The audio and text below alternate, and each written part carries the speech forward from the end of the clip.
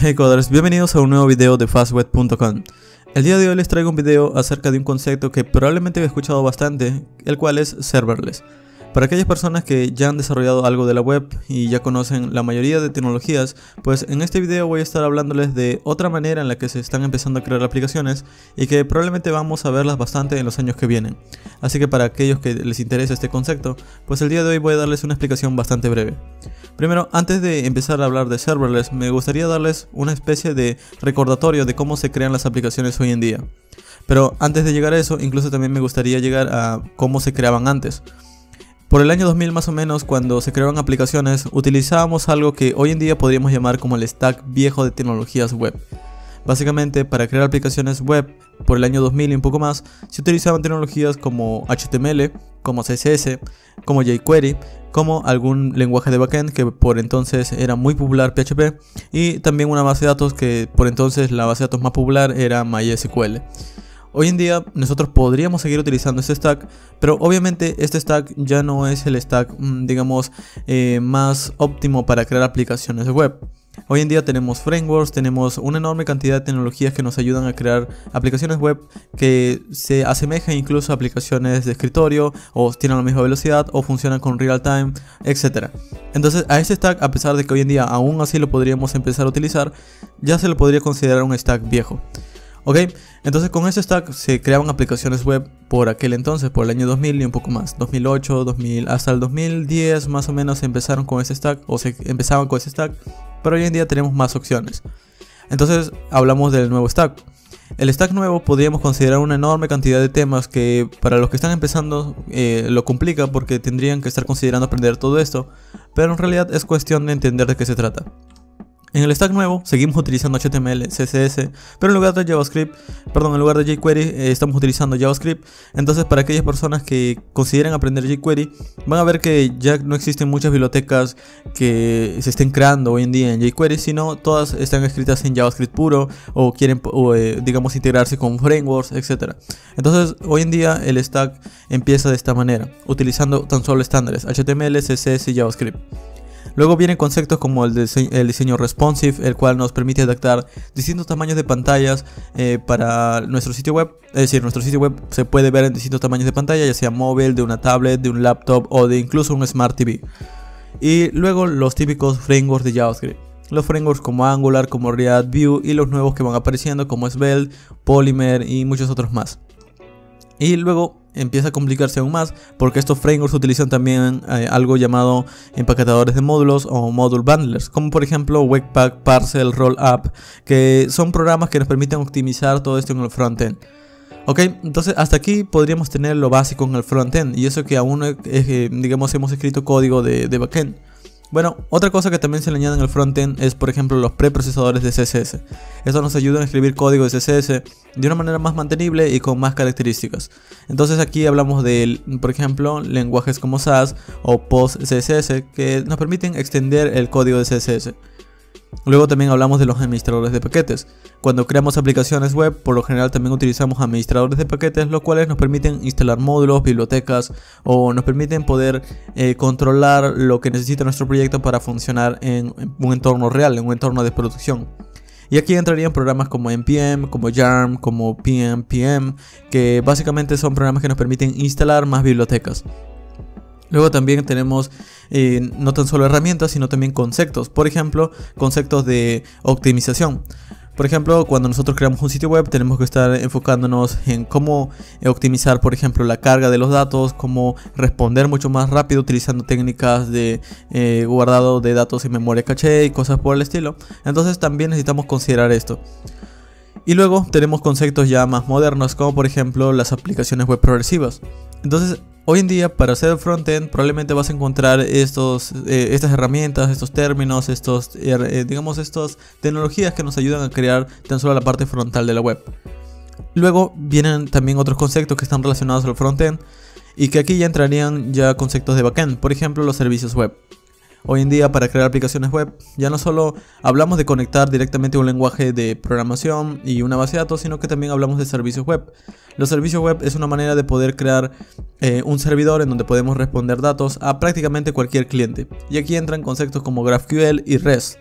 Eh, estos dos son conceptos bastante utilizados en la web y aplicaciones como Facebook, como Instagram, como eh, por ejemplo eh, Discord o un etcétera de aplicaciones lo utilizan. Entonces hoy en día también podemos hablar de los servicios web como algo necesario en el stack.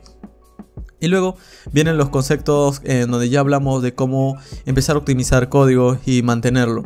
Aquí vienen, por ejemplo, los conceptos de testing. Por ejemplo, hablamos de unit testing, end-to-end testing o test dirigidos por comportamiento, eh, behavior driving eh, testing. Entonces, aquí nosotros estamos hablando también de cómo comprobar si el código funciona a pesar de que hacemos cambios.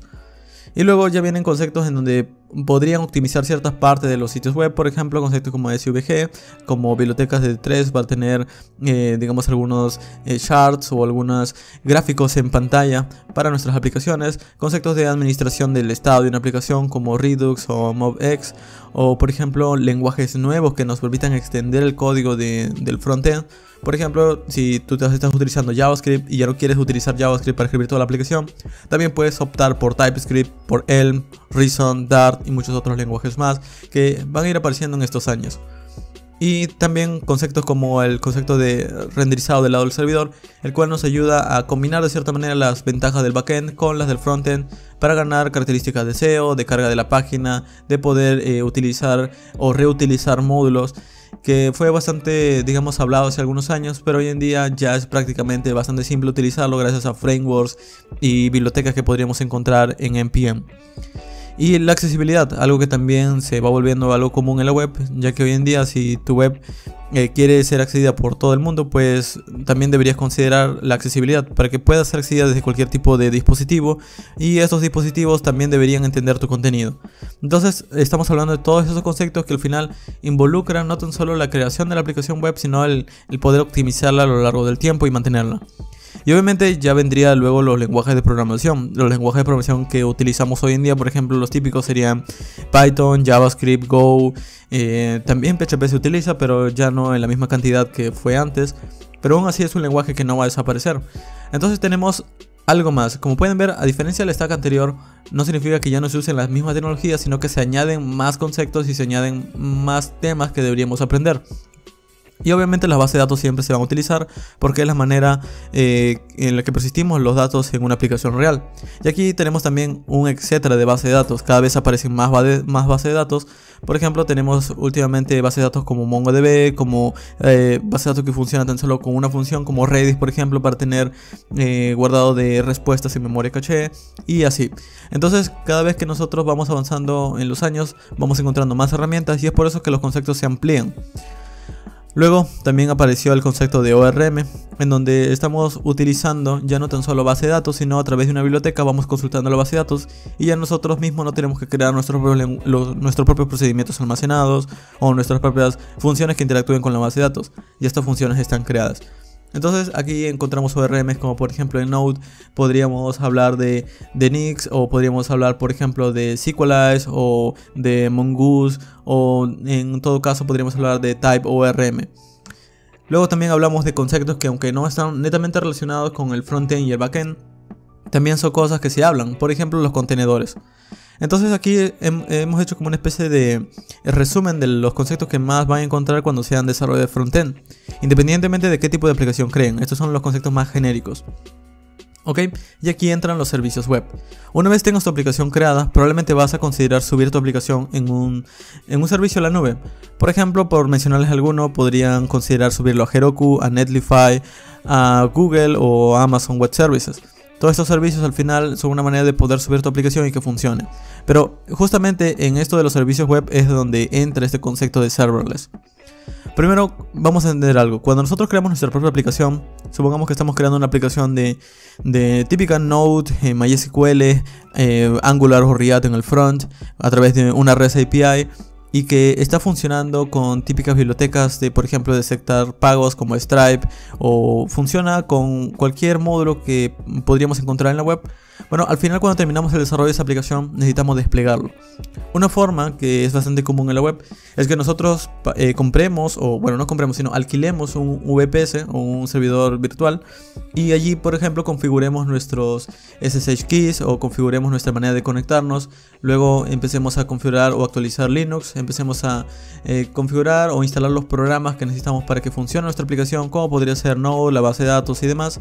Y una vez ya esté configurado, empezamos a copiar los archivos de nuestro computador a ese servidor. Ok, ese sería el entorno ideal hasta, digamos, hace algunos años.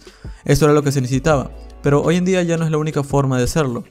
Y es por eso que es necesario entender esta parte, que cuando nosotros creamos nuestra propia aplicación, todos nosotros mismos desde cero, entre comillas, pues necesitamos lidiar con nuestra propia infraestructura. Es decir, escogemos un servidor con un sistema operativo, configuramos programas, instalamos programas y luego copiamos nuestros archivos en este servidor. Les estoy hablando de esto de lidiar con la infraestructura porque cuando hablamos de la nube, eh, hace algunos años era bastante común que nosotros empezáramos a configurar cosas, eh, por ejemplo, escogíamos un sistema operativo, eh, luego instalábamos algunos programas, configurábamos la manera en la que se iban a acceder a esos programas y con esto estábamos lidiando nosotros mismos con nuestra propia infraestructura. Es decir, lidiamos con las actualizaciones de software, con las configuraciones, ver cómo optimizarlo para que escale el servidor o lidiar, por ejemplo, el tiempo de respuestas o el upgrade de futuros programas. Básicamente nosotros lidiamos con todo en el servidor. Esto hoy en día en la nube ya está un poco más optimizado a tal punto de que surgen maneras un poco más fáciles de poder lograr esto. De hecho, no tenemos que hacerlo nosotros. Y allí es donde entra el concepto de serverless. Para que puedan entenderlo, en la nube antes era bastante típico que nosotros alquiláramos un VPS, es decir, pagáramos mensualmente un VPS, configurábamos todos nosotros mismos, configurábamos nuestros programas, subíamos nuestra aplicación y lo manteníamos nosotros.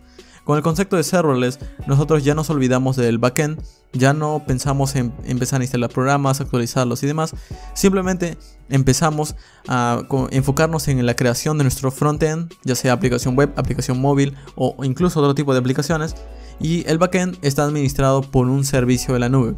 Ya les voy a hablar de estos servicios, pero es para que entiendan la idea. Entonces, en resumen, el concepto de serverless habla de que ya no se necesita un servidor que esté creado por ti en tu lenguaje de programación conectado a tu propia base de datos, sino que esto ya lo administra otro servicio.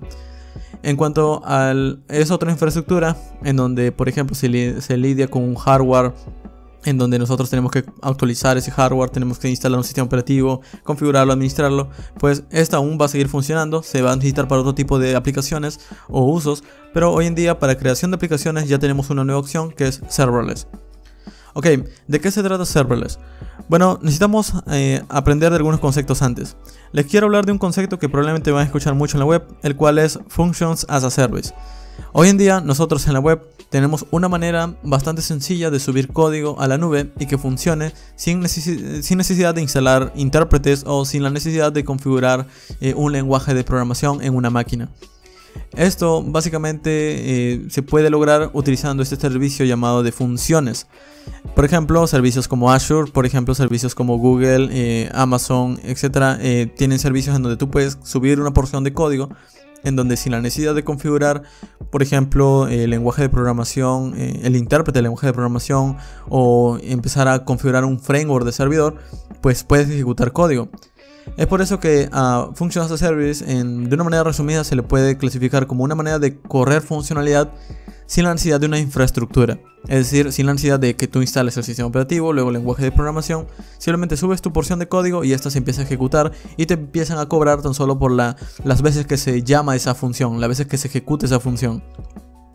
Obviamente esto es bastante utilizado cuando se crea eh, aplicaciones para basadas en microservicios, ya que por lo general como acoplas una aplicación en múltiples partes, pues este servicio viene bastante bien eh, con este tipo de arquitecturas de aplicación. Pero de hecho puede ser utilizado para otros propósitos y la idea de todo esto es que entiendas de qué se trata. Ok, entonces servicios como Amazon, eh, Amazon Web Services, Lambda, Google Cloud Functions o Azure tienen una manera de que puedas lograr esto, de que tan solo subas tu porción de código y esta se ejecuta en la nube. Entonces, básicamente de eso se trata Functions as a Service. En lenguajes de programación bastante típicos en la web, por ejemplo, en Node es bastante típico que nosotros creemos una porción de código que no específicamente utilice, por ejemplo, eh, algún intérprete de Node, simplemente subimos la función, esta utiliza algún framework y esta la subimos a, a la nube a través de Git y esta se mantiene ejecutando. Entonces, de eso más o menos se trata Functions as a Service. Luego también hay otro concepto en la nube llamado Backend as a Service. Backend as a Service básicamente habla de eso, de crear todo el backend pero de hecho no crearlo con código, sino simplemente crearlo con una interfaz. Por ejemplo, si alguna vez han utilizado eh, Firebase o han utilizado Amazon Amplify, ya están utilizando Backend as a Service. El Backend as a Service habla de que nosotros ya no tenemos que codear el backend, simplemente vamos a empezar a pagar una, una, membresía, una mensualidad a un servicio de nuevo como Google, como Amazon, y ellos nos van a dar el lenguaje de programación que queramos utilizar, que por lo general son bibliotecas o módulos, Luego nos va a dar eh, la base de datos, que va a ser una base de datos que está administrada en la nube. Nos va a dar módulos, nos va a dar una, una API, un SDK y de esa manera vamos a comunicarnos a ese backend. Entonces ya nos olvidamos de crear nosotros mismos nuestro propio lenguaje de programación, nuestro propio servidor web, o nos olvidamos de crear nuestro propio web service, o nos olvidamos de eh, empezar a configurar la base de datos para que se conecte a nuestro backend. Bueno, todo eso ya está administrado por este tipo de servicios. Básicamente se habla de una manera simple de conectar software cliente a servicios web. Por ejemplo, ustedes están desarrollando una aplicación en Android, en iOS, eh, o están creando una aplicación web en Angular, en React, en Vue o en Svelte. Bueno, ya crearon el frontend, ya saben la lógica del frontend o ya saben cómo crear una aplicación móvil. Pero de alguna manera tienen que guardar esos datos porque múltiples usuarios van a estar escribiendo eh, distintos datos al mismo tiempo. Entonces, lo que necesitan aprender luego es cómo crear un servicio web, ya sea en GraphQL, en una REST API, en el lenguaje de programación que ustedes gusten. Obviamente esa es una manera, pero de, nuevo si eres un desarrollador frontend o eres un desarrollador de aplicaciones móviles y tan solo has aprendido eso, te va a ser un poco difícil o vas a tener que invertir algo de tiempo en aprender esas cosas. Bueno, hay otra solución en la nube, es el cual simplemente vas a pagar un servicio, ellos te van a dar una biblioteca y la biblioteca te va a permitir conectarte al backend que no lo has creado tú, lo mantiene eh, la empresa y de esa manera vas a poder tener una base de datos en donde guardar de nuevos datos, vas a tener una manera de consultar datos en tiempo real y vas a tener maneras muy sencillas de poder básicamente interactuar con un backend sin tener que crearlo. Entonces, esta es una acción para determinado tipo de aplicaciones. De hecho, hay muchas aplicaciones que funcionan bajo este, este modelo de diseñar software. Luego, aquí también hablamos de los servicios web y hablamos de los desarrolladores frontend y los desarrolladores móviles. Básicamente el concepto de serverless ha sido muy aprovechado en estas áreas, web, móvil y el servicio de la nube, ya que al final se necesitan desarrolladores para que también creen este tipo de servicios. Y aquí hablamos de nuevo de no tan solo empezar a pagar un servicio, sino que también nos proveen de una API y de un SDK. Para aquellas personas que no saben qué es un API, bueno, en realidad lo que habla aquí los, eh, digamos, este tipo de servicio backend hablan de REST APIs o básicamente de, digamos, URLs donde se van a poder pedir cosas, guardar cosas, actualizar datos, de eliminarlos. Eh, las típicas operaciones que se hacen en un backend, por ejemplo, registrar usuarios, por ejemplo, eliminar eh, cuentas, por ejemplo, guardar datos relacionados con los usuarios o analíticas o ese tipo de cosas. De eso se trata el backend as a service. El SDK habla de una especie de conjunto de módulos o herramientas que te van a permitir poder conectarte a esta API. Por ejemplo, en SDKs podríamos encontrar eh, módulos que nos permitan conectarnos a una base de datos, conectarnos a un servidor y de esa manera vamos a poder interactuar con nuestro backend. Y aquí de nuevo podríamos encontrar en este backend as a service eh, características como por ejemplo analíticas, autenticación, almacenaje, base de datos, push notifications, functions y machine learning. Como pueden ver, este tipo de servicios son bastante típicos en la web. Es decir, en la web nosotros necesitamos analíticas, autenticación, registrar a los usuarios, guardar datos de los usuarios en una base de datos, enviar notificaciones push, eh, ejecutar funciones para que puedan hacer determinada tarea en algún tiempo. Y el servicio de Machine Learning, por ejemplo, quieres tener una manera optimizada de, eh, no lo sé, organizar datos o ese tipo de cosas, bueno, también tienes ese tipo de servicios. Entonces, todo esto viene a formar parte de algo llamado Backend as a Service, que por ahora tan solo viene en teoría, pero dentro de algunos segundos les voy a dar una idea de en dónde pueden encontrar esto. Ok, entonces serverless básicamente habla de combinar function as a service con backend as a service. Eh, function as a service, de nuevo recuerden que es la manera de ejecutar código en la nube y backend as a service es la manera de tener básicamente todo tu backend creado ya eh, por una empresa. Entonces tú tan solo te conectas a ese backend y tú te enfocas tan solo en tu aplicación frontend o en la aplicación móvil que estés creando. Ahora, en cuanto a serverless, se ha vuelto muy popular porque probablemente a futuro se va a volver una manera muy simple de poder crear aplicaciones. Yo sé que a muchos de ustedes les gusta codear, les gusta escribir código. El asunto es que cuando eres, por ejemplo, un trabajador y tienes que crear múltiples aplicaciones, obviamente vas a estar repitiendo el proceso una y otra vez, vas a tener que estar creando tu backend una y otra vez. Entonces de alguna manera vas a tener que optimizarlo. Bueno, el serverless o el concepto de serverless lo que nos dice es que nosotros ya nos olvidemos de crear el backend, todas esas típicas tareas de autenticar usuario, de ver si el usuario eh, su token es válido, de ver si el usuario eh, ya fue registrado previamente o, out, es decir, para que el usuario se registre con Google, con Facebook y ese tipo de cosas, o obtener la manera de guardar los datos en una base de datos. Bueno, todo ese tipo, ese tipo de tareas que ya son típicas en la web se pueden lograr con serverless de una manera muy simple y rápida. Entonces aquí estamos hablando que en futuro, en años futuros, vamos a ver muchas más opciones de backend as a service, muchas más opciones de backend as a service. Por ejemplo, eh, antes un servicio muy popular, bueno, hasta ahorita un servicio muy popular es Firebase de Google. Ese es un servicio de backend as a service. Pero eh, Amazon también tiene el suyo, que es Amazon Amplify, AWS Amplify. Entonces ya tenemos más servicios que básicamente dan lo mismo o tienen la misma idea. Proveernos de una manera de olvidarnos del, del backend y simplemente eh, configurar nuestro frontend o enfocarnos en la creación de nuestra aplicación frontal. A medida que pasen los años, serverless se va a volver mucho más simple, ya que al final, como es un servicio bastante utilizado y los módulos o los SDKs que se utilizan van a ser mucho más optimizados, bueno, con el tiempo se van a crear funciones más simples, va a haber mucha más documentación, va a haber muchos más ejemplos y pronto va a ser un concepto que probablemente vas a escuchar bastante en tu empresa, ya que tu empresa quiere empezar a crear algo rápido y funcional y quiere olvidarse de administrar él mismo sus propios servidores, quiere olvidar, eh, olvidarse de administrar todo un proyecto de backend y poder pagar eh, para crear una aplicación bastante sencilla y bastante típica. Ok, el concepto de serverless se va a volver incluso más barato, ya que hoy en día, por ejemplo, si vas en Firebase, dependiendo del tamaño de tu aplicación, dependiendo de cuánto consuma, pues puedes empezar a tener una aplicación backend muy simple, básicamente al mismo precio que pagarías tan solo pagando por el VPS, con todo configurado por ti mismo. Por darles alguna idea, por ejemplo, eh, si DigitalOcean te cobra 5 dólares por tu VPS, en serverless podrías pagar como 10 dólares o 9 dólares dependiendo de lo que necesites. Eh, pero lo más típico sería ese precio y para, de esa manera podrías tener ya un backend eh, para tu aplicación móvil, para tu aplicación web. Ok, entonces básicamente va por allí, pero de nuevo deben enfocarse en el tamaño de su aplicación. Luego también podría a años futuros volverse algo muy típico el cual eh, server se vuelva un poco más importante incluso que el concepto de servidor. Es decir, hoy en día vemos, no sé ustedes cómo lo vean, pero hoy en día vemos que hay muchos desarrolladores front-end, muchos desarrolladores de aplicaciones móviles, porque es lo que se busca estos días. Por ejemplo, si ustedes van al Play Store o van a su tienda de aplicaciones favorita, van a ver que hay una enorme cantidad de aplicaciones que en su gran mayoría se parecen, pero cada una tiene un enfoque distinto.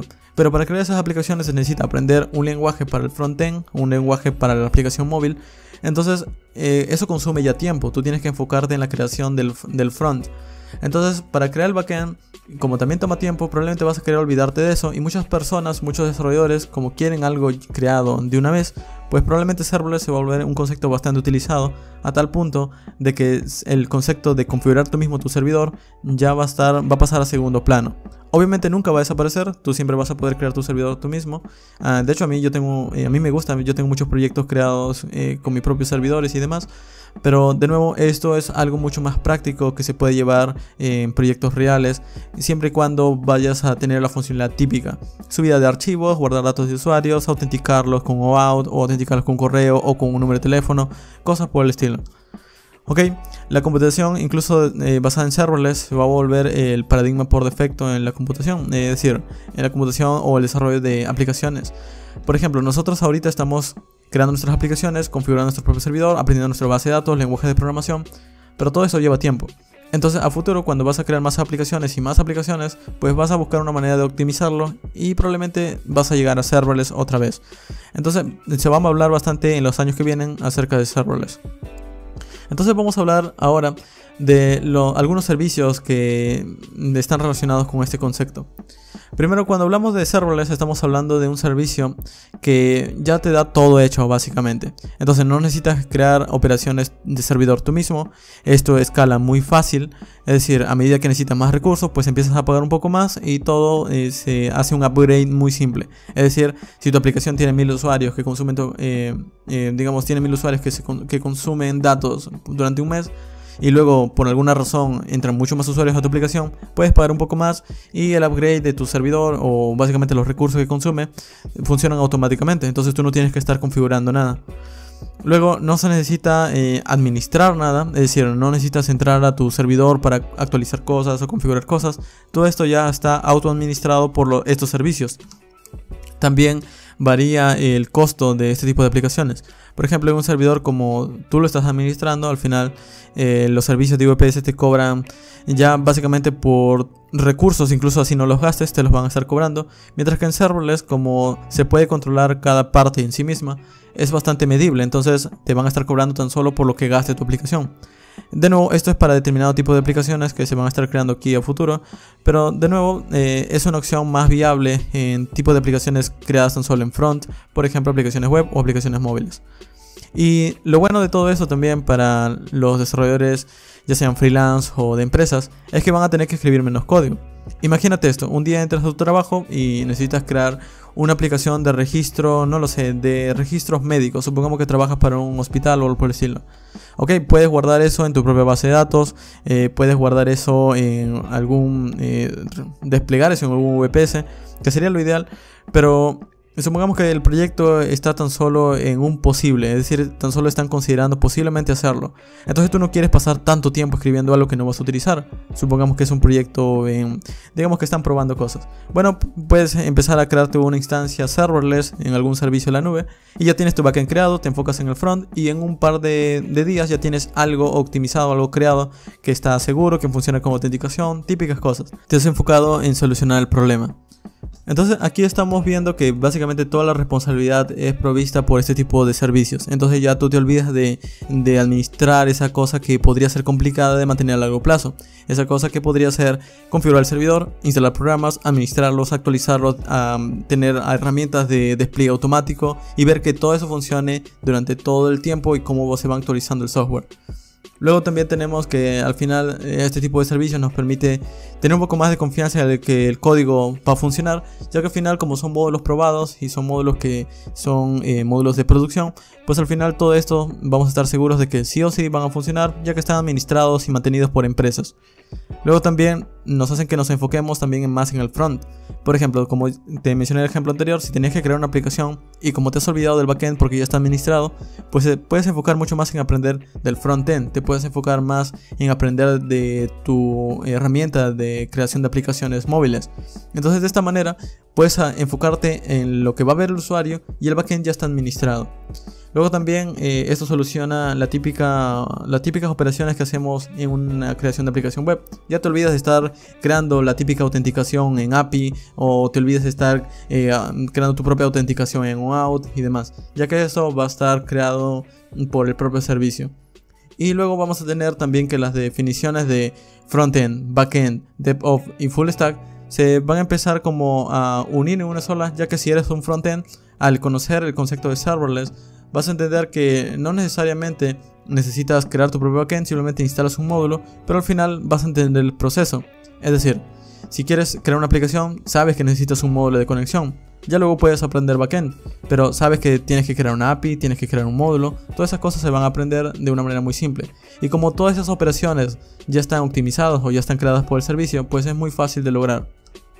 Servicios que cumplen con esto de serverless Podrían ser, por ejemplo, Cloudinary, Auth0, Algolia, Netlify, Immun, Enorme, etc. Para que tengan una idea, cada uno de estos servicios tiene un propósito, tiene la tarea de resolver un problema. Por ejemplo, Cloudinary es un servicio en, la web que te permite poder subir imágenes y administrarlas con una API que básicamente hace de todo relacionado con imágenes tan solamente. Eh, por ejemplo, en Cloudinary tú puedes subir una imagen y si quieres convertir el tamaño de la imagen, pues simplemente cambias la URL y automáticamente se cambia el tamaño, sin tener que modificarlo tú mismo. Todo esto es muy útil en una aplicación, porque por ejemplo, si estás desarrollando una aplicación web, cuando el tamaño de pantalla sea una TV, pues probablemente quieras una imagen de, no lo sé, 700 píxeles por 400. Pero en tamaño, en tamaño móvil probablemente quieras algo mucho más pequeño. Entonces busques algo como por ejemplo de 200 píxeles por 100. Entonces de esa manera puedes estar eh, optimizando mucho mejor gracias a la nube y no tienes que crear toda esa lógica tú mismo. ¿Ok? Luego también Auth0 es una manera de poder autenticar, eh, digamos, tus usuarios de una manera sencilla, sin necesidad de que te enfoques en eso.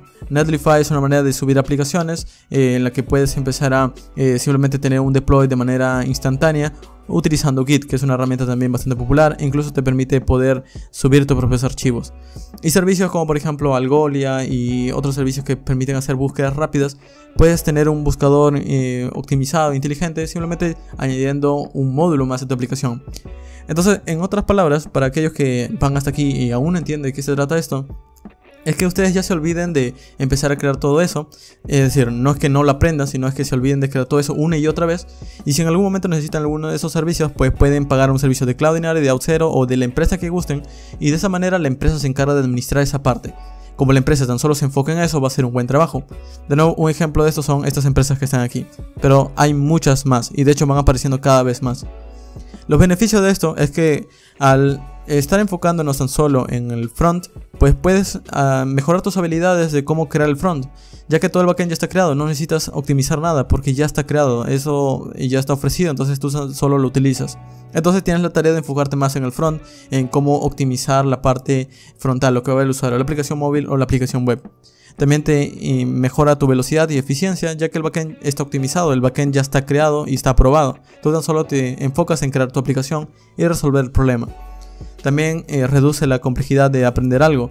Porque, por ejemplo, si estás aprendiendo web y no sabes nada de backend, no sabes nada de APIs, no sabes nada de módulos, bueno, simplemente vienes a uno de estos servicios en la nube y empiezas a pagar una vez y ya tienes un backend creado, entonces tú tan solo puedes empezar a consumir ese backend y te enfocas en lo que has aprendido del front. Eso también se vuelve un poco más seguro, ya que al final vamos a tener una manera de controlar todo a través de un panel. También vamos a tener una manera ya optimizada de tener autenticación, de ver registros de usuarios y ese tipo de cosas que son bastante típicas y que si lo hiciéramos nosotros también nos llevaría tiempo. Y también algo bastante útil es que tan solo vamos a pagar por lo que vamos a estar utilizando. Y es por eso que este tipo de servicios también se vuelve una buena opción para las aplicaciones más comunes de hoy en día.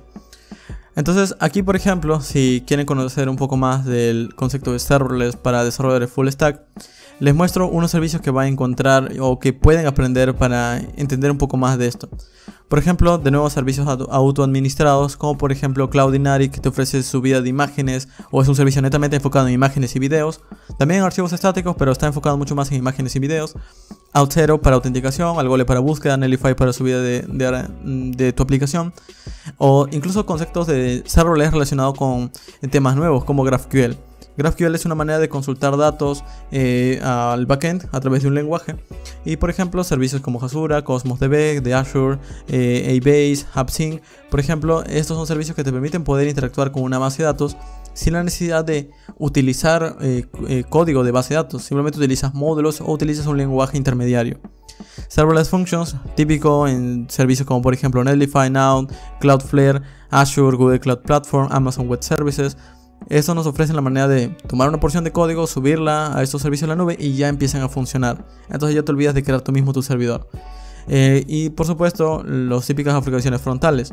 Por ejemplo, en la web, ya que en este canal hablamos bastante de la web, por ejemplo, podrías encontrar React, React Native, Angular, Vue y Ionic, que son los típicos frameworks de la web que podrías empezar a utilizar relacionados con conceptos serverless.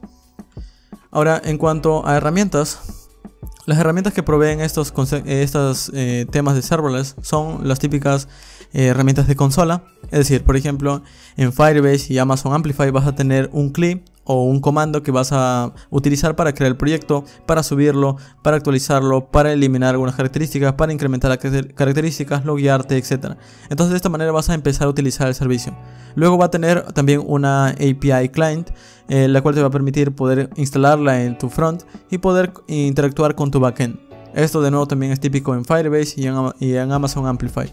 Hosting, el cual te permite subir, por ejemplo, tu aplicación ya terminada a también esos servicios. Por ejemplo, si desarrollas una aplicación en Firebase, utilizas un módulo, es decir, su clip, luego empiezas a eh, utilizar la API de Firebase para interactuar con la base de datos y luego cuando terminas lo subes a su hosting. Todo eso ya te provee el servicio de Firebase. Pero de nuevo, hay mucho más. Hay una cadena de herramientas que puedes utilizar adicionalmente. Analíticas, Machine Learning, puedes utilizar también, por ejemplo, subida de archivos, eh, también una base de datos que puedes administrar, autenticación, etc. Push notifications, como te mostrado también.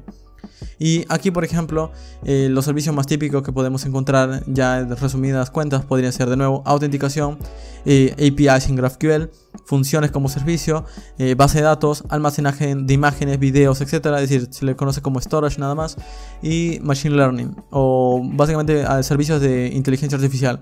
Esto se está volviendo también común porque como las aplicaciones web y aplicaciones móviles necesitan una manera de solventar problemas comunes como por ejemplo organización de datos o muchos, muchos usuarios están creando datos distintos pero quieres eh, catalogarlos de alguna manera, pues para no hacerlo tú mismo puedes entrenar una, un servicio en la nube y este se va a encargar de administrarlo. Entonces ya no tienes que crearlo tú mismo. Y hosting, como les he hablado, también te permite estos servicios. Entonces más o menos hasta aquí va la introducción de lo que es serverless. Espero que lo hayan entendido, pero si quieren aprender mucho más acerca de este concepto, les recomiendo que investiguen términos como por ejemplo de microservicios, GraphQL, Amazon Web Services, Amplify, Firebase, y framework de servidor, como también eh, CMS basado en ese concepto de serverless. De nuevo, la idea es que ya nos olvidemos de crear el backend nosotros mismos y que esto esté creado por algún eh, servicio de la nube o por ejemplo por alguna empresa bastante popular. Entonces, eh, dos temas que voy a estar abarcando en los próximos videos o ejemplos prácticos van a ser servicios de Firebase y de Amazon Amplify. También muchos de ustedes me han comentado que si podría hablar también de términos relacionados con Amazon Web Services, por ejemplo S3, S2 o servicios similares. También voy a estar publicándolos. Pero de nuevo, eh, es un concepto que de poco a poco se ha vuelto popular, incluso ya lleva algunos años, pero de poco a poco se va volviendo popular y como muchos de ustedes me lo han mencionado, espero que al menos ya sepan de qué se trata. Pero de nuevo, esto lo van a entender mucho mejor cuando escriban código. Al menos por ahora ya tienen una idea. Muy bien, entonces eso ha sido todo por el video del día de hoy. Si tienen alguna pregunta me lo dejan en los comentarios y eventualmente voy a estar publicando estos temas en este canal. Así que nos vemos muy pronto.